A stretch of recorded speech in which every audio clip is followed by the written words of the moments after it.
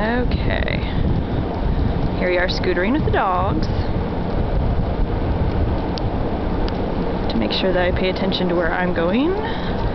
Same time as them. Keep going straight, guys. Good job. Good dogs. You guys are doing fabulous. Just have to hope that no deer comes across our path. And you can see, here's the scooter. There's the dogs. Uh-oh.